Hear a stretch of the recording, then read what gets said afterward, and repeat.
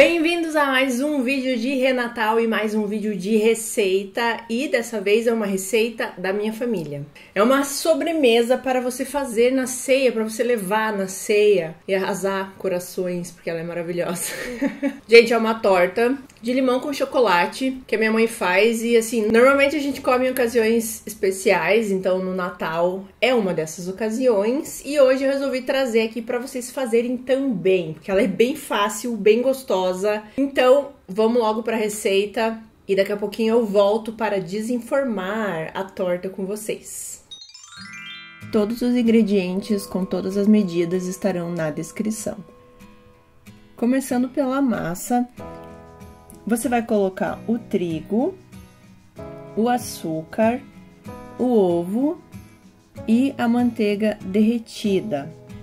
E também você vai colocar o fermento. Lembrando que essa é uma receita de massa podre que a gente faz, mas eu sei que cada pessoa tem a sua, então fica à vontade aí para adaptar.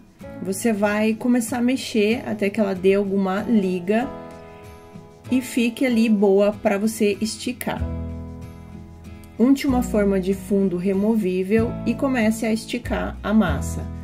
Não deixe ela nem muito fina, nem muito grossa e normalmente essa massa aí dá para forrar uma tigela grande como a minha. Faça uns furinhos na massa e coloque para assar no forno de 180 graus por 15 minutos. Aí a gente vai começar a fazer o primeiro recheio, como eu consigo controlar bem a temperatura do meu fogão, eu fiz direto na panela, mas você pode derreter o chocolate em banho-maria ou aos pouquinhos no micro-ondas. Depois dele derretido, você vai colocar o creme de leite e a manteiga e vai mexer até que tudo fique bem incorporado. É a famosa ganache. Depois da massa fria, você vai colocar esse primeiro recheio dentro dela. Importante que a massa tem que estar fria, gente. E vai colocar no congelador durante ali uns 20 minutos, que é para o chocolate ficar firminho.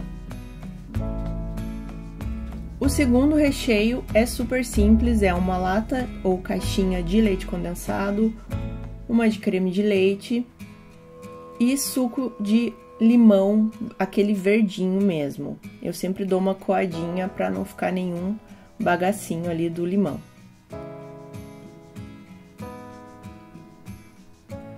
Você vai ver que você começa a mexer e do nada ele já fica mais encorpado, mais cremoso. Mistura bem e depois que você gelou este primeiro recheio, você vai colocar este segundo em cima. É super simples. Esse take ficou horrível, vocês não conseguiram ver nada, mas deu para entender. Para decorar, coloque algumas raspinhas de limão por cima e leve para gelar aí no mínimo por 3 horas antes de servir. É super simples, gente.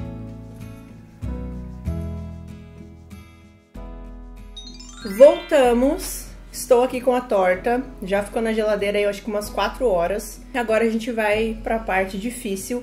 Eu não tenho, gente, um prato bonito, então vai nessa forma que tá aqui embaixo mesmo, tá?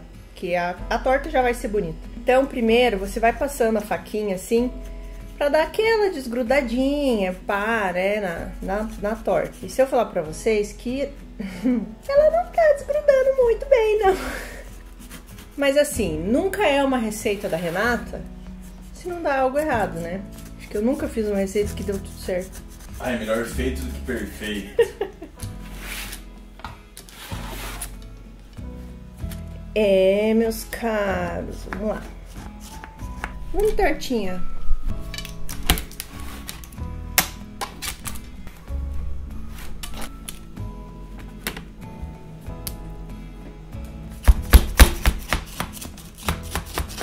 Quebrando, todas as bordinhas da torta. Cair, né?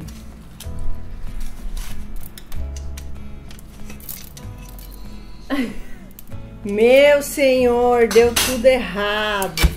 Ai, bom, como vocês viram, aqui ó, Caiu. Não sei por quê, porque eu, eu untei certinho. A minha mãe deve saber por que que isso aconteceu. Ela vai escrever nos comentários aqui. Vocês olham nos comentários que minha mãe vai dizer: Ó, oh, Renata, é que você não fez isso, ou você fez aquilo. Enfim, vou cortar.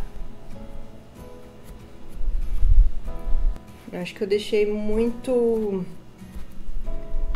fininha a borda, eu acho. Tá aí. Outra coisa é que quando a minha mãe faz, a forma dela é um pouquinho menor.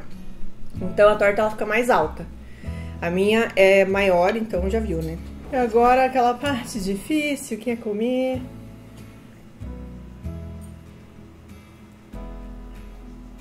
Hum. Nossa, como eu amo essa torta. Logo que você come, vem o azedinho do limão, né?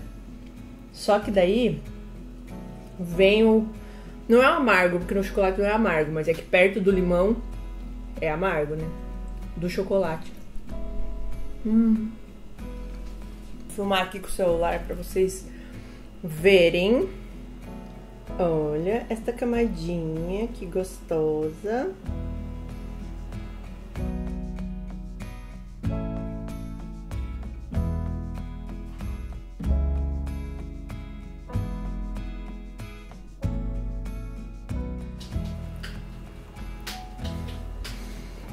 Hum.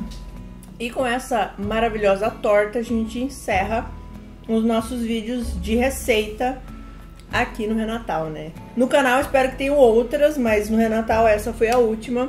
Receita da tortinha da minha mamãe, que inclusive iremos comer nesse Natal, porque eu já pedi pra ela fazer. Obrigado por ter assistido até aqui, pessoal, e até amanhã em mais um vídeo de Renatal.